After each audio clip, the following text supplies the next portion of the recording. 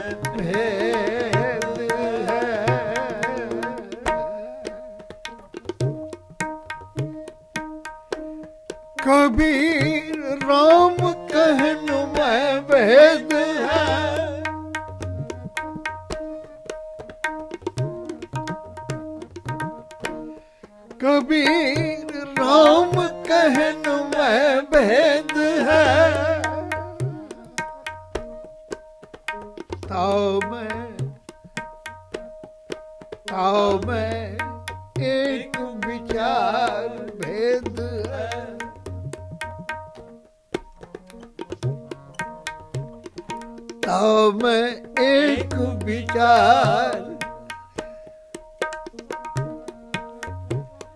सोई राम सब कह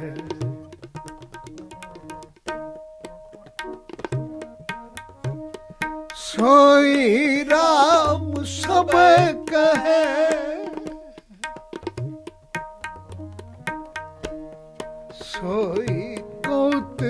ਹਾਰ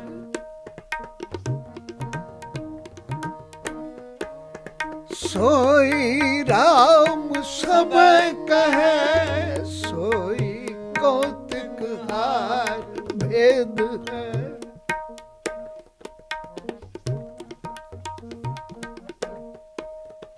ਰਾਮ ਕਹਿਨ ਮੈਂ ਹੈ।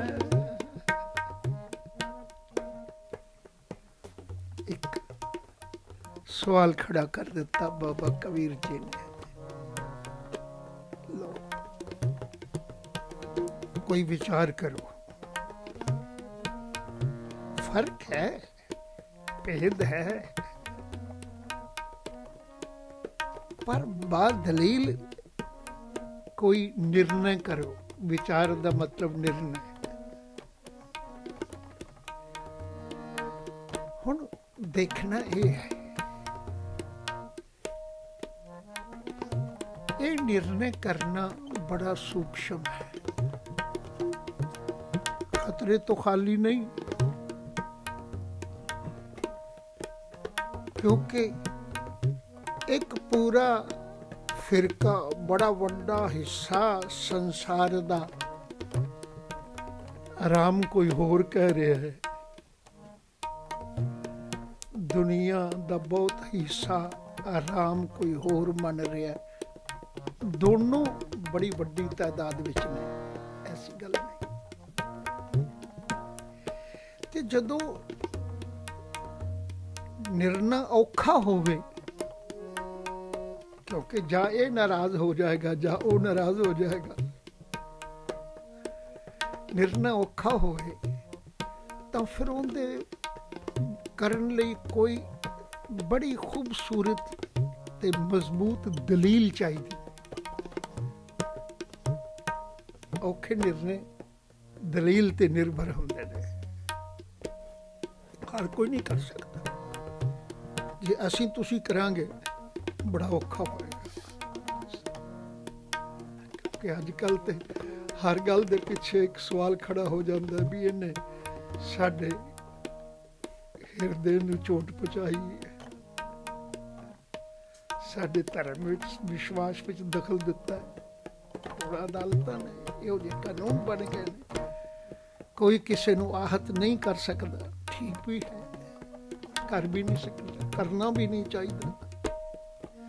ਤੇ ਫਿਰ ਕੀ? ਇਹ ਭੇਦ ਇਵੇਂ ਚੱਲਦਾ ਰਹੇ?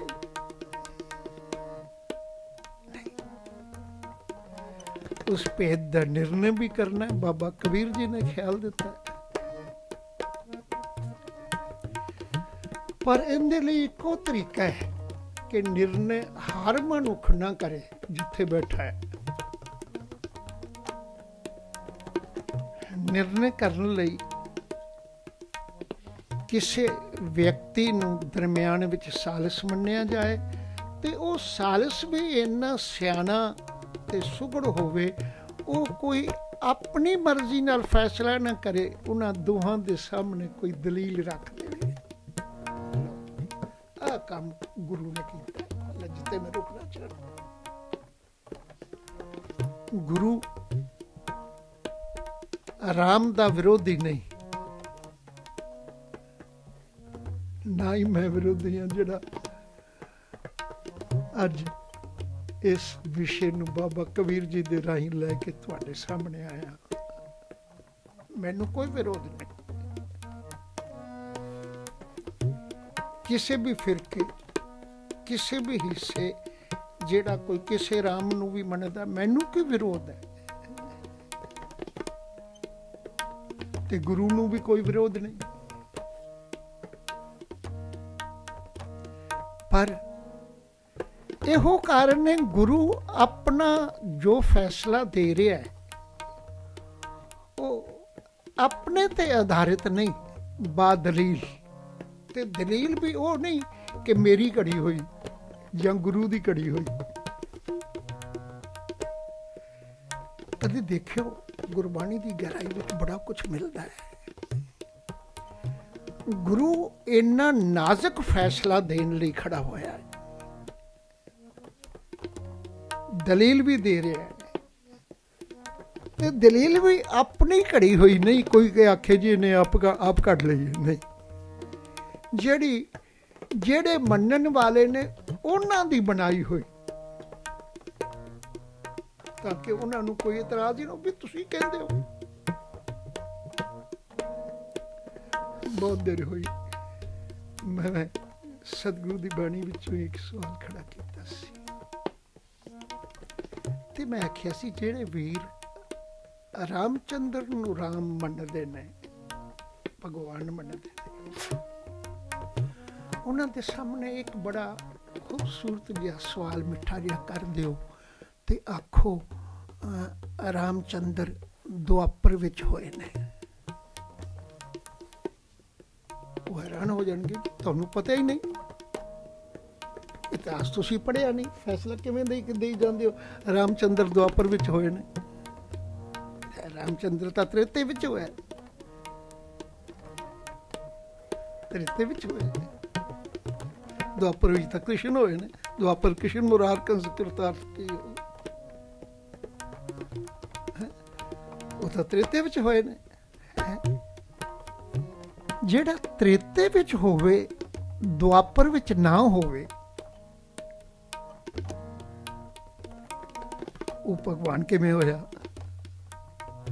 ਇਹਦਾ ਮਤਲਬ ਤੇ ਗੁਰੂ ਕਹਿੰਦੇ ਨੇ ਮੈਂ ਉਸ ਨੂੰ ਰਾਮ ਆਖ ਰਿਹਾ ਜਿਹੜਾ ਆਦ ਸੱਚ ਹੈ ਜੁਗਾਦ ਸੱਚ ਹੈ ਹੈ ਵੀ ਸੱਚ ਹੈ, ਨਾਨਕ ਹੋਸੀ ਵੀ ਸੱਚ ਹੈ। ਜਿਹੜਾ ਇਹ ਨਹੀਂ ਵੀ ਤ੍ਰੇਤੇ ਵਿੱਚ ਆਵੇ ਤੇ ਚਲਾ ਜਾਏ, ਦੁਆਪਰ ਵਿੱਚ ਕੋਈ ਹੋਰ ਭਗਵਾਨ ਆਵੇ। ਦਲੀਲ, ਮੈਂ ਕਿਸੇ ਦਾ ਦਿਲ ਦੁਖਾਣ ਲਈ ਨਹੀਂ। ਇੱਕ ਉਹਨਾਂ ਦੀ ਪੈਦਾ ਕੀਤੀ ਹੋਈ ਦਲੀਲ, ਉਹ ਆਖਦੇ ਨੇ ਤ੍ਰੇਤੇ ਵਿੱਚ ਹੋਇਆ। ਸਤਿਗੁਰੂ ਬਾਣੀ ਵਿੱਚ ਇੱਕ ਗੱਲ ਕਹਿੰਦੇ ਨੇ, ਵੈਦੋ ਨਾ ਵਾਈ ਪੈਨੋ ਨਾ ਬਹਾਈ, ਏਕੋ ਸਹਾਈ RAM ਹੈ। ਵੈਦੋ ਨਾ ਬਹਿਨੋ ਨਾ ਏਕੋ ਸਹਾਈ RAM ਹੈ। ਰਾਮ ਰਾਮ ਲਫ਼ਜ਼ ਵਰਤ ਰਹੇ ਨੇ, ਕਹਿੰਦੇ ਨੇ ਮੈਂ ਰਾਮ ਨੂੰ ਮੰਨਣਾ। ਇੱਕੋ ਸਹਾਈ ਰਾਮ ਹੈ। ਅੱਗੇ ਜਾ ਕੇ ਕਹਿੰਦੇ ਨੇ, ਮੈਂ ਉਸ ਰਾਮ ਨੂੰ ਮੰਨਣਾ। ਜਿਹੜਾ ਆਵੇ ਨਾ ਜਾਵੇ, ਸੰਗੇ ਸਮਾਵੇ। ਆਉਂਦਾ ਜਾਂਦਾ ਨਹੀਂ ਬਿਤਰੇਤੇ ਤੇ ਵਿੱਚ ਆਵੇ ਤੇ ਚਲਾ ਜਾਏ ਦੁਆਪਰ ਵਿੱਚ ਕੋਈ ਹੋਰ ਗੁਰੂ ਵੀ ਦਲੀਲ ਦਲੀਲ ਦੇ ਰਹੇ ਨੇ।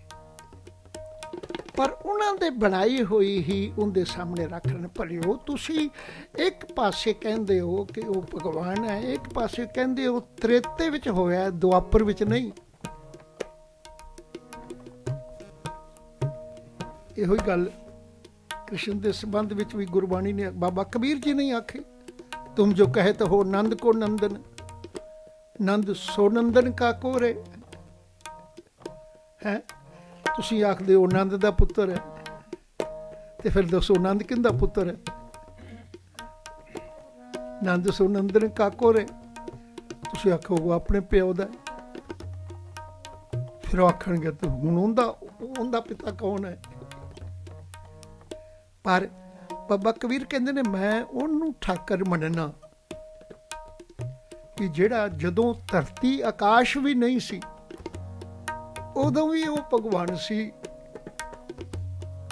ਤਰਨ ਆਕਾਸ਼ ਦਸੋ ਦਿਸ ਨਹੀਂ, ਤਬ ਇਹ ਨੰਦ ਕਹਾ ਥੋਰੇ। ਉਦੋਂ ਨੰਦ ਤੇ ਹੈ ਹੀ ਨਹੀਂ, ਜਦੋਂ ਧਰਤੀ ਆਕਾਸ਼ ਵੀ ਨਹੀਂ ਸੀ, ਉਦੋਂ ਨੰਦ ਤੇ ਹੈ ਹੀ ਨਹੀਂ ਸੀ। ਤੇ ਨੰਦ ਦਾ ਪੁੱਤਰ ਕਿੱਥੋਂ ਹੋ ਗਿਆ? ਦਲੀਲਾਂ, ਉਹ ਨੇ ਜਿਹੜੀਆਂ ਉਹਨਾਂ ਦੀਆਂ ਆਪਣੀਆਂ ਕੜੀਆਂ ਹੋਈਆਂ ਨੇ। ਕਹਿੰਦੇ ਨੇ, ਜਿਹੜਾ ਨੰਦ ਦਾ ਪੁੱਤਰ ਹੈ, ਭਗਵਾਨ ਹੈ। ਤੇ ਨੰਦ ਦਾ, ਨੰਦ ਤਾਂ ਉਦੋਂ ਹੈ ਹੀ ਨਹੀਂ ਸੀ, ਜਦੋਂ ਧਰਤੀ ਆਕਾਸ਼ ਨਹੀਂ ਸੀ। ਧਰਨਾ ਆਕਾਸ਼ ਦਸੋ ਦੁਸ਼ਨਾ ਹੀ ਤਬ ਇਹ ਨੰਦ ਕਹਾਂ ਥੋਰੇ, ਕਿੱਥੇ ਸੀ? ਤੇ ਅਖੀਰਲੀ ਲੈਣ ਅੰਦਰ ਇਹ ਫੈਸਲਾ ਦਿੰਦੇ ਨੇ, ਭਲਿਓ, ਇੱਕ ਗੱਲ ਯਾਦ ਰੱਖੋ, ਕਬੀਰ ਕੋ ਸਵਾਮੀ ਐਸੋ ਠਾਕਰ ਜਾ ਕੋ ਮਾਈ ਨਾ ਬਾਪੂ ਰੇ। ਉਹਦਾ ਮਾਈ ਬਾਪ ਕੋਈ ਨਹੀਂ। ਇੱਥੇ ਵੀ ਮਸਲਾ ਇਹ ਹੈ ਕਿ ਉਹ ਦਸ਼ਰਥ ਦਾ ਪੁੱਤਰ ਹੈ ਦਸ਼ਰਥ ਰਾਏ ਨੰਦ। ਰਾਜਾ ਮੈਂ ਪਹਿਲਾਂ ਬਾਬਾ ਨਾਮ ਨਾਮਦੇਵ ਇਹ ਗੱਲ ਮੰਨਦੇ ਸਨ। ਜਸਰਤ ਰਾਏ ਨੰਦ ਰਾਜਾ ਮੇਰਾ ਰਾਮਚੰਦ। ਤੇ ਫਿਰ ਜਦੋਂ ਦੇਖਿਆ, ਉਦੋਂ ਆਖਿਆ, ਆ ਅੱਜ ਨਾਮੇ ਬੀਠਲ ਦੇਖਿਆ।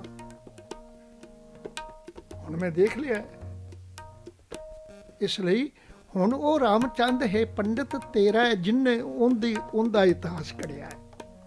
ਆਜ ਨਾਮੇ ਬੀਠਲ ਦੇਖਿਆ, ਮੂਰਖ ਕੋ ਸਮਝਾਉਂ ਰੇ ਪਾਂਡੇ, ਤੁਮਰਾ ਰਾਮਚੰਦ। ਉੱਥੇ ਆਖਦੇ ਨੇ, ਰਾਜਾ ਮੇਰਾ ਰਾਮਚੰਦ। ਇੱਥੇ ਕਹਿੰਦੇ ਨੇ, ਪਾਂਡੇ, ਤੁਮਰਾ ਰਾਮਚੰਦ ਸੋ ਵੀ ਆਵਤ ਦੇਖਿਆ ਥਾ। ਤੇ ਉਹਦਾ ਇਤਿਹਾਸ ਕੀ ਇਸ ਰਾਵਣ ਸੇਤੀ ਸਰਬਰ ਹੋਈ ਕਰ ਕੀ ਜੋਏ ਗਵਾਈ ਥੀ। ਭਗਵਾਨ, ਜਿਹਨੂੰ ਆਖਣਾ ਉਹਦੀ ਉਹਦੀ ਕਹਾਣੀ ਤੂੰ ਆਪ ਘੜ ਰਿਹਾ ਮੈਂ ਨਹੀਂ ਤੇਰੀਆਂ ਬਣਾਈਆਂ ਹੋਈਆਂ ਨੇ। ਇਸ ਲਈ ਇੱਕ ਖਿਆਲ ਕਰਿਓ ਗੁਰੂ ਦਲੀਲ ਦੇ ਕੇ ਇੱਕ ਗੱਲ ਵਿਚਾਰ ਕੇ ਨਿਰਣੈ ਤੁਹਾਡੇ ਸਾਹਮਣੇ ਰੱਖਦਾ ਹੈ ਕਿ RAM ਮੇਰਾ ਵੀ ਹੈ RAM ਤੇਰਾ ਵੀ ਹੈ। ਮੈਂ ਇਹ ਨਹੀਂ ਕਹਿੰਦਾ ਕਿ RAM ਮੇਰਾ ਨਹੀਂ। RAM ਮੇਰਾ ਨਹੀਂ। ਮੈਨੂੰ ਹੱਡ ਬੀਤੀ ਵੀ ਕਈ ਯਾਦ ਆ ਜਾਂਦੀਆਂ ਵਿੱਚ ਫਿਰ ਕਰਦੇ ਬਹੁਤ ਸਮਾਂ ਪਹਿਲਾਂ ਕੋਈ 12 15 ਸਾਲ 12 13 ਸਾਲ ਪੁਰਾਣੀ ਗੱਲ ਹੈ। ਇਲੈਕਸ਼ਨ ਸ਼੍ਰੋਮਣੀ ਕਮੇਟੀ ਦੇ ਆਏ ਸਾਰਿਆਂ ਨੇ ਲੜੇ। ਉਹਦੇ ਚ ਅਸੀਂ ਬਹੁ ਕਾਂਸ਼ੀ ਰਾਮ ਨੂੰ ਬੁਲਾਇਆ। ਉਦੋਂ ਬਾਈ ਕਾਂਸ਼ੀ ਰਾਮ ਚੜ੍ਹਦੀ ਕਲਾ ਵਿੱਚ ਸਨ। ਤੇ ਬੁਲਾਇਆ ਮਲੇਰ ਕੋਟਲੇ ਰੈਲੀ ਸੀ ਛੋਟੀ ਜਿਹੀ। ਉਹਨੂੰ ਅਸੀਂ ਬੁਲਾਇਆ। ਉਹ ਕੁਝ ਬੜਾ ਸਖਤ ਤੇ ਸਿੱਧੇ ਲਫ਼ਜ਼ਾਂ ਨਾਲ ਬ੍ਰਾਹਮਣਿਜ਼ਮ ਦੇ ਖਿਲਾਫ ਸੀ। ਜਦੋਂ ਉਹ ਖੜਾ ਹੋਇਆ ਨਾ, ਉਹਨੂੰ ਟਾਈਮ ਦਿੱਤਾ ਤੇ ਉਹਨੇ ਸਿੱਧੇ ਲਫ਼ਜ਼ਾਂ ਵਿੱਚ ਆਖਿਆ, ਕਹਿਣ ਲੱਗਾ, ਇੱਥੇ ਜੇ ਕੋਈ ਬ੍ਰਾਹਮਣ ਬੈਠਾ ਹੈ, ਤਾਂ ਉੱਠ ਜਾਏ। ਪੰਡਿਤ ਉੱਠ ਜਾਏ। ਤੇ ਆਪਦੇ ਰਾਮ ਨੂੰ ਵੀ ਨਾਲ ਲੈ ਜਾਓ। ਮੈਂ ਬੜਾ ਹੈਰਾਨ ਹੋਇਆ ਵੀ ਸਾਡੀ ਸਟੇਜ ਤੋਂ ਇਹ ਗੱਲ ਆਖਣ ਦੀ ਲੋੜ ਨਹੀਂ ਸੀ। ਖੈਰ ਦਾਸ ਨੇ ਬਾਦ ਵਿੱਚ ਬੋਲਣਾ ਸੀ ਮੈਂ ਇੱਕ ਗੱਲ ਆਖੀ ਵੀ ਬੜੇ ਜਜ਼ਬਾਤੀ ਬੜਾ ਸੁੰਦਰ ਬੋਲਣ ਨੇ ਕਾਸ਼ੀ ਰਾਮ ਜੀ ਪਰ ਉਹਨਾਂ ਨੂੰ ਪਤਾ ਹੋਵੇ ਜਿਨ੍ਹਾਂ ਨੂੰ ਆਖਦੇ ਨੇ ਨਾ ਵੀ ਰਾਮ ਵੀ ਨਾਲ ਲੈ ਜਾਓ ਤਾਂ ਆਪ ਰਾਮ ਤੋਂ ਆਰਾਮ ਤਾਂ ਆਪ ਉਹਨਾਂ ਤੋਂ ਔਖਾ ਹੈ ਉਹ ਭਿਲਦੀ ਦੇ ਨਾਲ ਖੜਾ ਹੈ ਤੁਹਾਡੇ ਨਾਲ ਕਿਉਂਕਿ ਜਲਤ ਜਾਤੀਆਂ ਸਮਝਦੀਆਂ ਸਨ ਵੀ ਬ੍ਰਾਹਮਣ ਦਾ ਰਾਮ ਹੈ ਬੀਐਸਪੀ ਦਲ ਜਾਤੀਆਂ ਦੀ ਮੈਂ ਕਿਹਾ ਉਹ ਤਾਂ ਤੁਹਾਡੇ ਨਾਲ ਖੜਾ ਹੈ। ਉਹ ਭੀਲਨੀ ਦੇ ਮਿੱਠੇ ਬੇਰ ਖਾਂਦਾ ਤੇ ਤੁਸੀਂ ਕਹਿੰਦੇ ਹੋ ਤੁਸੀਂ ਲੈ ਜਾ। ਤਾਂ ਦਲੀਲਾਂ ਉਹਨਾਂ ਦੀਆਂ ਘੜੀਆਂ ਹੋਈਆਂ ਹੀ ਉਹਨਾਂ ਦੇ ਸਾਹਮਣੇ ਗੁਰੂ ਵੀ ਰੱਖ ਰਿਹਾ ਹੈ। ਗੁਰੂ ਕਹਿੰਦਾ, ਮੈਂ ਰਾਮ ਤੋਂ ਮੁਨਕਰ ਨਹੀਂ। ਪਰ ਮੈਂ ਇਹ ਨਿਰਣੇ ਕਰਨਾ ਚਾਹਨਾ ਕਿ ਸੋਈ RAM ਸਭੈ ਕਹੇ, ਸੋਈ ਕੌਤਕ ਹਾਰ। ਇੱਕ RAM ਉਹ ਹੈ ਜਿਹੜਾ ਸਾਰੀ ਦੁਨੀਆ ਨਾਲ ਸਾਂਝ ਰੱਖਦਾ ਹੈ। ਤੇ ਇੱਕ ਉਹ ਹੈ ਜਿੰਦਾ ਜਿੰਦੀ ਰਾਮਲੀਲਾ ਖੇਡੀ ਜਾਂਦੀ ਹੈ, ਕੌਤਕ ਹਾਰ। ਜਿੰਦਾ ਡਰਾਮਾ ਖੇਡਿਆ ਜਾਂਦਾ ਹੈ। ਹੁਣ ਜਿੰਦਾ ਡਰਾਮਾ ਖੇਡਿਆ ਜਾਂਦਾ ਹੈ, ਜਿੰਦਾ ਜਿੰਦੀ ਉਹ ਤਾਂ ਇਤਿਹਾਸ ਤੁਸੀਂ ਆਪ ਮੰਨ ਰਹੇ ਹੋ। ਤੇ ਉਸ ਰਾਮ ਦੇ ਉਸ ਇਤਿਹਾਸ ਵਿੱਚ ਤੁਸੀਂ ਇਹ ਵੀ ਆਖਦੇ ਹੋ ਕਿ ਸਤਿਗੁਰੂ ਨੇ ਬਾਣੀ ਵਿੱਚ ਉਸ ਗੱਲ ਨੂੰ ਉਹਨਾਂ ਦੇ ਇਤਿਹਾਸ ਨੂੰ ਬਾਦਲੀਲ ਵਰਤੇ ਉਹਨਾਂ ਦੇ ਬਣਾਇਆ ਇਤਿਹਾਸ ਕਿ ਇਧਰ ਮੈਂ ਉਸ ਰਾਮ ਨੂੰ ਮੰਨ ਰਿਹਾ, ਜਿਸ ਬਾਰੇ ਆਖਣਾ, ਉਹ ਹਮੇਸ਼ਾ ਆਵੇ, ਨਾ ਜਾਵੇ, ਸੰਗੇ ਸਮਾਵੇ, ਅਸਥਰ ਜਾ ਕੇ ਥਾਣੇ ਹੈ ਮੈਂ ਉਸ ਆਰਾਮ ਨੂੰ ਆਰਾਮ ਕਰਕੇ ਮੰਨਣਾ, ਬਲਕਿ ਤੁਸੀਂ ਹੈਰਾਨ ਹੋਗੇ ਜਦੋਂ ਮਨੁੱਖ ਭੁਲੇਖੇ ਵਿੱਚ ਪੈਂਦਾ ਨਿਰਣੇ ਨਹੀਂ ਕਰ ਸਕਦਾ, ਕਈ ਗਲਤੀਆਂ ਕਰਦਾ ਸਾਡੇ ਵਿੱਚ ਹੀ ਮੈਂ ਨਾਮ ਲੈਣ ਤੋਂ ਵੀ ਸੰਕੋਚ ਨਹੀਂ ਕਰਦਾ, ਓਮਕਾਰ ਸਿੰਘ ਥਾਪਰ ਦਿੱਲੀ ਦੇ ਚੰਗੇ ਲੀਡਰ ਮੰਨੇ ਜਾਂਦੇ ਸੀ ਉਹ ਬੀਜੇਪੀ ਦੇ ਆਰਐਸਐਸ ਦੇ ਸਮਾਗਮ ਵਿੱਚ ਗਏ, ਉਹਨਾਂ ਦਿਨਾਂ ਅੰਦਰ ਚਰਚਾ ਚੱਲ ਰਹੀ ਸੀ ਆਰਾਮ ਜਨਮ ਭੂਮੀ ਦੀ ਕਿ ਅਸੀਂ ਬਣਾਵਾਂਗੇ। ਉਹਨਾਂ ਆਪ ਵੱਲੋਂ ਆਪਣੇ ਨੰਬਰ ਬਣਾਉਣ ਵਾਸਤੇ ਉੱਥੇ ਜਾ ਕੇ ਵਰਤਿਆ ਜੀ। ਰਾਮ ਸਾਡਾ ਵੀ ਹੈ, ਸਾਡੇ ਤਾਂ ਇੰਨੇ ਹਜ਼ਾਰ ਵਾਰੀ ਸ੍ਰੀ ਗੁਰੂ ਗ੍ਰੰਥ ਸਾਹਿਬ ਵਿੱਚ ਰਾਮ ਰਾਮ ਆਇਆ ਅਸੀਂ ਵੀ ਤੁਹਾਡੇ ਨਾਲ ਜਾਵਾਂਗੇ। ਮੈਂ ਵੀ ਹੈਰਾਨ ਹੋਇਆ ਸੁਨੇ ਉਹ ਵੀਡੀਓ ਟੇਪ ਬਣੀ ਹੋਈ ਅੱਜ ਵੀ ਹੈ। ਸ੍ਰੀ ਗੁਰੂ ਗ੍ਰੰਥ ਸਾਹਿਬ ਦੀ ਬਾਣੀ ਅੰਦਰ ਮੈਂ ਕਿਹਾ, ਦੂਜੀ ਸਟੇਜ ਤੇ ਬੋਲਦੇ ਮੈਂ ਇੱਕ ਗੱਲ ਕਹੀ ਵੀ ਬੜੀ ਅਜੀਬ ਗੱਲ ਹੈ, ਉਹਨਾਂ ਦਾ ਆਪਣਾ ਇਤਿਹਾਸ ਹੈ, ਉਸ ਇਤਿਹਾਸ ਵਿੱਚ ਇੱਕ ਥਾਂ ਤੇ ਕਿਸੇ ਨੇ ਇਹ ਵੀ ਲਿਖਿਆ ਹੈ ਕਿ ਰਾਮ ਚੰਦਰ ਜੀ, ਦਸ਼ਰਥ ਦੇ ਰਾਮ ਚੰਦਰ ਜੀ ਜਿਹੜੇ ਸਨ, ਉਹ ਜਾਣ ਲੱਗਿਆ ਆਪਣੀ ਅਯੁੱਧਿਆ ਨਗਰੀ ਨਾਲ ਲੈ ਗਏ। ਉਹਨਾਂ ਦੇ ਇਤਿਹਾਸ ਵਿੱਚ। ਆਪਣੀ ਨਗਰੀ ਨਾਲ ਲੈ ਗਏ। ਤੇ ਮੈਂ ਕਿਹਾ, ਜੇ ਉਹ ਅਯੁੱਧਿਆ ਹੀ ਨਾਲ ਲੈ ਗਏ, ਤੇ ਰਾਮ ਜਨਮ ਭੂਮੀ ਕਿੱਥੇ ਰਹਿ ਗਈ? ਅਜੀਬ ਗੱਲ ਤਾਂ ਹੈ ਵੀ ਦਲੀਲ ਤੁਹਾਡੀ ਹੈ, ਤੁਹਾਡੇ ਸਾਹਮਣੇ ਰੱਖ ਰਿਹਾ ਗੁਰੂ ਨੇ ਵੀ ਇਹੋ ਗੱਲ ਦਲੀਲਾਂ ਰੱਖੀਆਂ। ਕਹਿਣ ਲੱਗੇ, ਰਾਮ ਜੁਰਾ ਹੈ। ਇੱਕ ਪਾਸੇ ਅਸੀਂ ਉਸ ਨੂੰ ਰਾਮ ਮੰਨ ਰਹੇ ਹਾਂ। ਜਿੰਦੇ ਸੰਬੰਧ ਵਿੱਚ ਆਖ ਰਹੇ ਹਾਂ, ਰਾਮ ਕੋ ਬਲ ਭਾਈ ਤਾਤੇ ਬਿਰਥਾ ਨਾ ਵਿਆਪੇ ਕਾਈ। ਮੇਰਾ ਰਾਮ ਹੋਗਾ ਜਿਹੜਾ ਐਡਾ ਬਲਵਾਨ ਹੈ ਕਿ ਜਲ ਤੇ ਥਲ ਕਰ ਥਲ ਤੇ ਕੂਆ, ਕੂਪ ਤੇ ਮੇਰ ਕਰਾਵੇ, ਧਰਤੀ ਤੇ ਆਕਾਸ਼ ਚੜਾਵੇ ਚੜੇ ਆਕਾਸ਼ ਗਿਰਾਵੇ, ਭਿਖਾਰੀ ਤੇ ਰਾਜ ਕਰਾਵੇ ਰਾਜਤ ਦਾ ਬਲ ਹੈ। ਤੇ ਜੇ ਉਹ ਆਪਣਾ ਬਲ ਨਿੱਕੀ ਜੀ ਕੀੜੀ ਵਿੱਚ ਵੀ ਰੱਖ ਦੇ ਤਾਂ ਸਤਿਗੁਰੂ ਕਹਿੰਦੇ ਨੇ ਨਿੱਕੀ ਕੀੜੀ ਮੈਂ ਬਲ ਰੱਖ ਕੇ ਭਸਮ ਕਰੇ ਲਸ਼ਕਰ ਕੋਟ ਲਾਖੇ। ਸਾਡਾ ਰਾਮ, ਅਸੀਂ ਉਸ ਨੂੰ ਰਾਮ ਮੰਨ ਰਹੇ ਹਾਂ। ਤੇ ਤੁਸੀਂ ਦੂਜੇ ਪਾਸੇ ਰਾਮ ਝੁਰੇ ਦਲ ਮੇਲ ਵੇ ਅੰਤਰ ਬਲ ਅਹੰਕਾਰ। ਬੰਤਰ ਕੀ ਸੇਵਾ ਸੇ ਬੰਤਰ ਕੀ ਸੈਨਾ ਸੇਵੀ ਹੈ? ਉਹਨੂੰ ਦੇ ਸਾਹਮਣੇ ਜਦੋਂ ਵਿਪਤਾ ਆਉਂਦੀ ਹੈ ਤੇ ਬੜਾ ਝੁਰਦਾ ਹੈ, ਪਰੇਸ਼ਾਨ ਹੁੰਦਾ ਹੈ ਤੇ ਉਧਰੋਂ ਆਪਣੀ ਸਹਾਇਤਾ ਲਈ ਬਾਂਦਰਾਂ ਦੀ ਸੇਵਾ, ਸਿਆਣਾ ਇਕੱਠੀ ਕਰਦਾ ਉਹਨੂੰ ਕਿਸੇ ਸਹਾਇਤਾ ਦੀ ਲੋੜ ਹੈ। ਮੇਰੇ ਰੱਬ ਨੂੰ ਤਾਂ ਕਿਸੇ ਸਹਾਇਤਾ ਦੀ ਲੋੜ ਨਹੀਂ। ਮੈਂ ਬਲਕਿ ਕਈ ਇੱਕ ਵਾਰ ਅਰਜ਼ ਕੀਤੀ ਸੀ ਵੀ ਆਹ ਲਫ਼ਜ਼ ਜਿਹੜੇ ਨੇ ਸਾਨੂੰ ਬਹੁਤ ਸੋਚਣੇ ਪੈਣਗੇ ਕਿ ਖਾਲਸਾ ਅਕਾਲ ਪੁਰਖ ਕੀ ਫੌਜ ਦੇ ਤੇ ਵੀ ਬੋਲਿਆ। ਅਕਾਲ ਪੁਰਖ ਨੂੰ ਕਿਸੇ ਦੀ ਸਹਾਇਤਾ ਦੀ ਲੋੜ ਨਹੀਂ। ਫੌਜਾਂ ਹਮੇਸ਼ਾ ਆਪਣੀ ਸਹਾਇਤਾ ਵਾਸਤੇ ਰੱਖੀਆਂ ਜਾਂਦੀਆਂ ਨੇ। ਅਕਾਲ ਪੁਰਖ ਨੂੰ ਬਿਲਕੁਲ ਸਹਾਇਤਾ ਦੀ ਲੋੜ ਨਹੀਂ। ਉਹ ਤਾਂ ਨੀਕੀ ਕੀਰੀ ਮੇ ਕਲ ਰੱਖੇ, ਭਸਮ ਕਰੇ, ਲਸਕੋ ਰੋਟ ਲਾਖੇ। ਇਸ ਲਈ ਦੂਜੇ ਪਾਸੇ ਜਿਸ ਨੂੰ ਤੁਸੀਂ ਰਾਮ ਆਖ ਰਹੇ ਹੋ, ਉਹ ਬੰਤਰ ਕੀ ਸੇਵਾ ਸੈਨਾ ਸੇਵੀ ਇਹ ਮਨ ਤਨ ਜੋ ਜੋ ਅਪਾਰ। ਉੱਥੇ ਇਹ ਹੈ ਵੀ ਤਾਤੇ ਬਿਰਥਾ ਨਾ ਵਿਆਪੇ ਕੋਈ, ਕਾਈ ਕੋਈ ਦੁੱਖ ਨਹੀਂ, ਕੋਈ ਰੋਗ ਨਹੀਂ, ਕੋਈ ਪਰੇਸ਼ਾਨੀ ਨਹੀਂ ਮੇਰੇ ਆਰਾਮ ਨੂੰ। ਪਰ ਦੂਜੇ ਪਾਸੇ ਜਿਸ ਨੂੰ ਤੁਸੀਂ ਰਾਮ ਰਾਮ ਮੰਨ ਰਹੇ ਹੋ ਦਸ਼ਰਤ ਦੇ ਬੇਟੇ ਨੂੰ ਦੇ ਸਬੰਧ ਵਿੱਚ ਤੁਹਾਡਾ ਇਤਿਹਾਸ ਹੈ, ਰੋਵੇ ਰਾਮ ਨਿਕਾਲਾ ਬਹਿ ਸੀਤਾ ਲక్ష్మణ ਵਿਛੜ ਗਿਆ। ਰਾਮ ਚੁਰੇ ਦਰ ਮੇਲ ਵੇ ਇੱਥੇ ਬਸ ਨਹੀਂ। ਸੀਤਾ ਲੈ ਗਿਆ ਦਸ਼ਰੋ ਲక్ష్మణ ਮਗੋ ਸਰਾਪ। ਇਹ ਤੁਹਾਡੇ ਇਤਿਹਾਸ ਨੇ। ਤੁਸੀਂ ਰਾਮ ਲੀਲਾ ਬਕਾਇਦਾ ਇਹਨਾਂ ਇਤਿਹਾਸਾਂ ਤੇ ਨਿਰਭਰ ਵਰਤਦੇ ਹੋ, ਬਣਾਉਂਦੇ ਹੋ। ਤੇ ਫਿਰ ਇਸ ਇਤਿਹਾਸ ਦੇ ਮੁਤਾਬਕ ਤੁਸੀਂ ਜਿੰਨੂੰ ਅਸੀਂ ਰਾਮ ਮੰਨਦੇ ਆ ਉਹਨੂੰ ਕੋਈ ਵਿਪਤਾ ਨਹੀਂ, ਕੋਈ ਦੁੱਖ ਨਹੀਂ, ਕੋਈ ਉਹਦੀ ਟਾਈਮ ਲਿਮਟ ਨਹੀਂ। ਉਹ ਕਰਤਾ ਹੈ। ਕਿਰਤ ਨਹੀਂ, ਕਿਸੇ ਦਾ ਬਣਾਇਆ ਹੋਇਆ ਨਹੀਂ। ਉਹ ਸਾਰੇ ਸੰਸਾਰ ਦਾ ਪਿਤਾ ਹੈ, ਉਹ ਬਣਾਉਣ ਵਾਲਾ ਹੈ, ਸਿਰਜਣ ਵਾਲਾ ਹੈ, ਉਹ ਕਿਸੇ ਦਾ ਪੁੱਤਰ ਨਹੀਂ। ਸਤਿਗੁਰੂ ਬਾਣੀ ਵਿੱਚ ਆਖ ਰਹੇ ਨੇ। ਕਹਿੰਦੇ ਨੇ, ਮੈਂ ਦੇਖਦਾ ਕਿ ਆ ਉਹਦਾ ਮਾਤਾ ਪਿਤਾ ਵੱਖਰਾ, ਕੋਈ ਨਿਸ਼ਚਿਤ ਨਹੀਂ ਕੀਤਾ ਜਾ ਸਕਦਾ। ਆਪਣੇ ਹਿਰਦੇ ਵਿੱਚ ਚਾਤ ਮਾਰ ਜਿਹੜਾ ਤੇਰੇ ਅੰਦਰ ਬੈਠਾ ਹੈ ਆ ਮੰਦਰ ਮੈਂ ਕੌਣ ਬਸਾਈ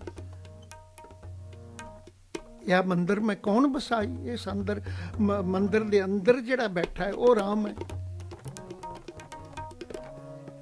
ਇਸ ਲਈ ਇੱਥੋਂ ਤੱਕ ਸਾਡੇ ਸਾਹਮਣੇ ਗੁਰੂ ਨਿਰਣੇ ਕਰਦਾ ਹੈ। ਤੇ ਸਮਝਣਾ ਪੈਂਦਾ ਹੈ, ਸਾਡਾ ਵਿਸ਼ਵਾਸ ਬਣੇ ਤਾਂ ਕਿ ਸਾਨੂੰ ਪਤਾ ਹੋਵੇ ਸਾਡਾ ਰਾਮ ਕਿਹੜਾ। ਅਸੀਂ ਕਿਸੇ ਦੇ ਵਿਚਾਰਾਂ ਦੇ ਵਿਰੋਧੀ ਨਹੀਂ ਜਿੱਥੇ ਕਿਸੇ ਦਾ اخلاق ਜੁੜਿਆ ਹੋਇਆ ਜੁੜਿਆ ਰਿਹਾ ਪਰ ਸਾਨੂੰ ਗੁਰੂ ਨੇ ਬਾਬਾ ਕਬੀਰ ਜੀ ਦੇ ਰਾਹੀਂ ਸਵਾਲ ਕਰਕੇ ਸਮਝਾ ਦਿੱਤਾ ਹੈ ਹੁਣ ਜਦੋਂ ਮੈਂ ਇਤਿਹਾਸ ਪੜ੍ਹਨਾ ਤੇ ਹੈਰਾਨ ਹੁੰਨਾ ਵੀ ਸ੍ਰੀ ਗੁਰੂ ਗ੍ਰੰਥ ਸਾਹਿਬ ਦੀ ਬਾਣੀ ਆਖ ਰਹੀ ਹੈ ਮਾਤਾ ਉਪਦੇਸੇ ਪ੍ਰਹਿਲਾਦ ਪਿਆਰੇ ਪੁੱਤਰ ਰਾਮ ਨਾਮ ਛੋੜੋ ਰਾਮ ਦਾ ਨਾਮ ਜਪਣਾ ਛੱਡ ਦੇ ਜੇ ਪਿਤਾ ਨਹੀਂ ਮਨਜ਼ੂਰ ਕਰਦਾ ਹਰਨਾਕਸ਼ ਆਪਣੀ ਜਾਨ ਬਚਾਓ ਤੈਨੂੰ ਮਾਰ ਦੇਵੇਗਾ। ਮਾਤਾ ਉਪਦੇਸੇ, ਪ੍ਰਹਿਲਾਦ ਪਿਆਰੇ, ਪੁੱਤਰ, ਆਰਾਮ ਨਾਮ ਛੋੜੋ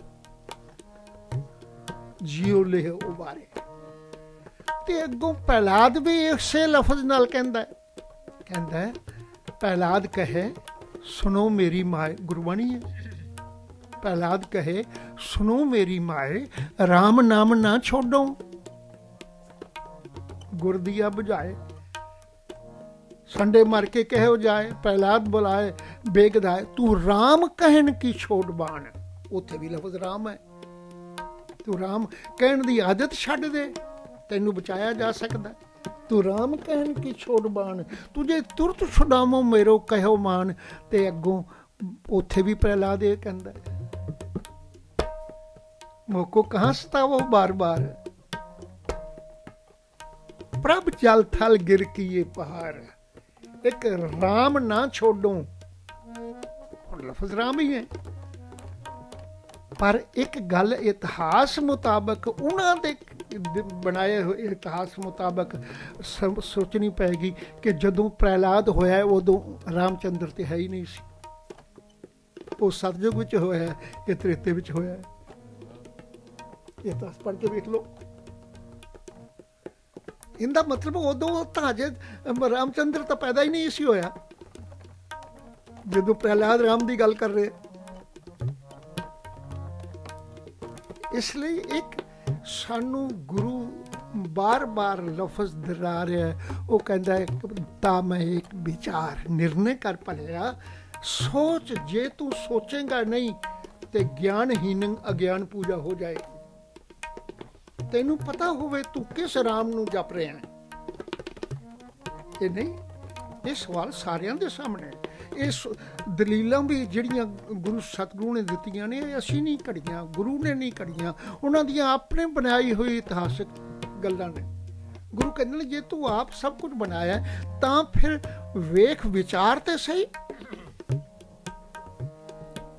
ਤਾਂ ਮੈਂ ਇੱਕ ਵਿਚਾਰ ਨਿਰਣੇ ਕਰ ਤੂੰ ਕਿਸ ਰਾਮ ਨੂੰ ਜਪ ਰਿਹਾ ਹੈ?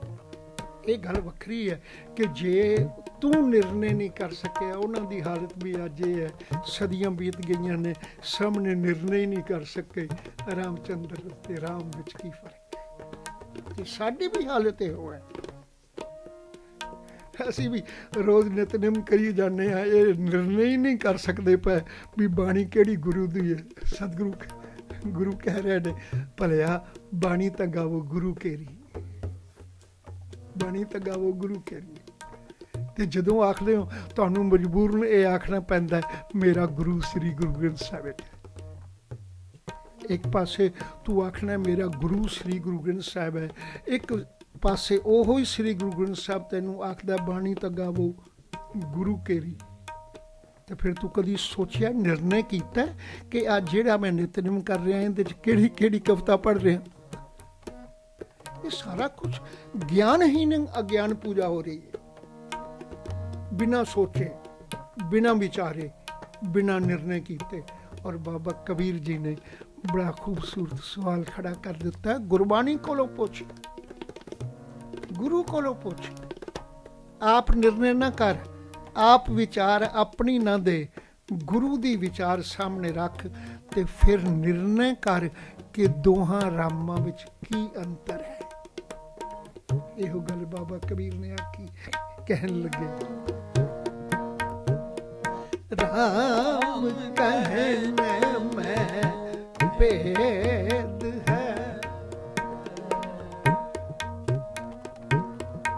ਕਬੀਰ ਰਾਮ ਕਹਿਣ ਮੈਂ ਭੇਦ ਹੈ।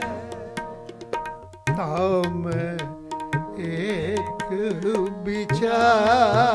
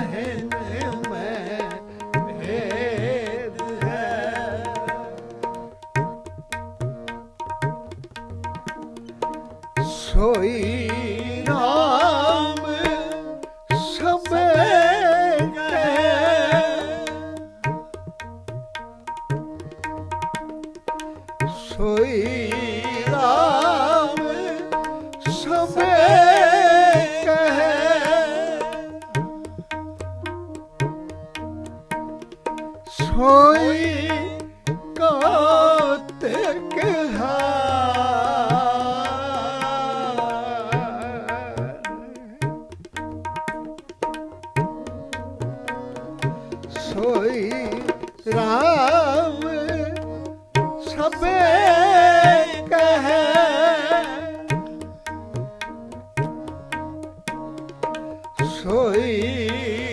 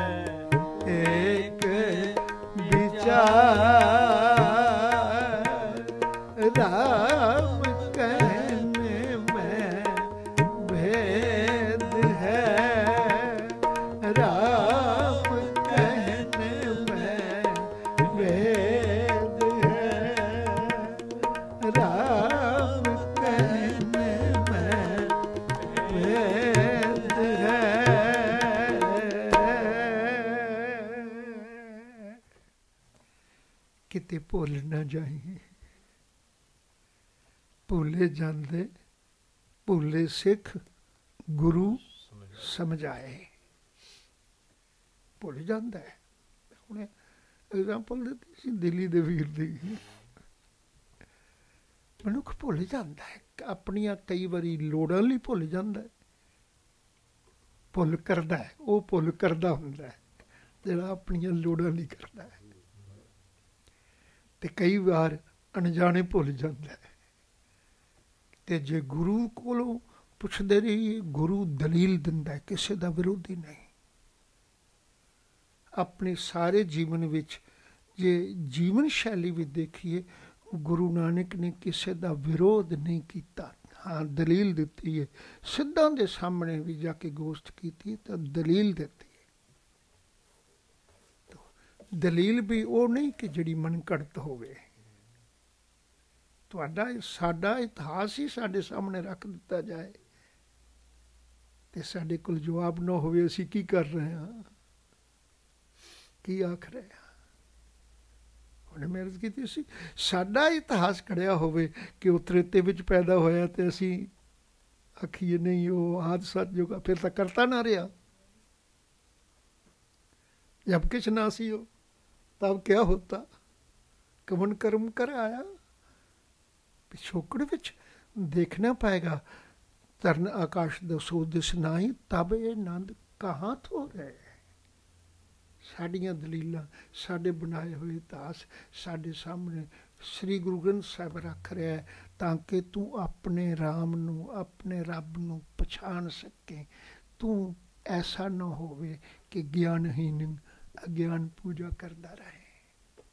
ਇਹ ਗੱਲ ਵੱਖਰੀ ਦੁਖਾਂਤ ਹੈ। ਅੱਜ ਸਾਡੀ ਜ਼ਿੰਦਗੀ ਵੀ ਗਿਆਨਹੀਨ ਅਗਿਆਨ ਪੂਜਾ ਵੱਲ ਜ਼ਿਆਦਾ ਪ੍ਰੇਰੀ ਜਾ ਰਹੀ। ਗੁਰੂ ਅਗਵਾਈ ਕਰੇ। ਇਹਨਾਂ ਸ਼ਬਦਾਂ ਨਾਲ ਖਿਮਾ ਜਾ ਚੱਕਾ ਫਤਿਹ ਬੁਲਾਓ। ਵਾਹਿਗੁਰੂ ਜੀ ਕਾ ਖਾਲਸਾ। ਵਾਹਿਗੁਰੂ ਜੀ ਕੀ ਫਤਿਹ।